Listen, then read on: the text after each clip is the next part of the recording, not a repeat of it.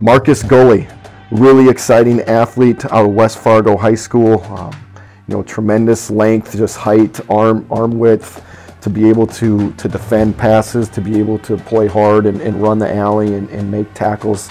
He's a guy that, that we feel like, again, can play multiple different positions defensively, that uh, he has such huge upside coming out of high school that, um, you know, he, he takes us defensively to another level. And so it's exciting to, to have a local guy to be able to be part of the program that, that wants to be part of our program that, that has such a high ceiling as, as he does. And so um, that, was, that was a huge um, get for us from right in our own backyard and, and really excited about um, moving forward in that one.